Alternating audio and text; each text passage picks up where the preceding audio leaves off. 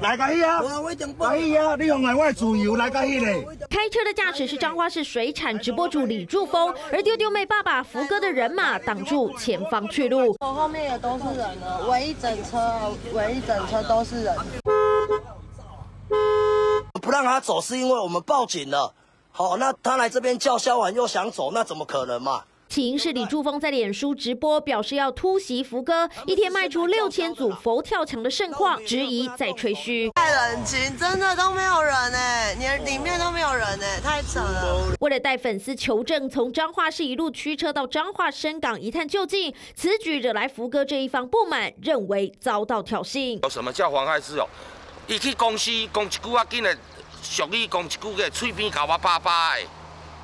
伊要走就要走，但是我就要警方去处理嘛。我车驶过看，因为拢无人才冷清掉，啊我啊我伫车顶笑，啊咧啊咧尔就搞砸车啊。警方获报到场，将双方人马带回警局侦讯。清明的那个男子啊，吼，来了解现场的林姓男子，他表示说，是因为对方啊，吼到公司来找茬，啊有。毁损他们公司的名誉的情形，竞争关系的双方火大互告，新仇加上旧恨，因为丢丢妹爸爸福哥经营的水产直播生意，长久以来与对手不和，如今再度撕破脸，掀起水产直播界的腥风血雨。三立新闻徐淑伟张报道。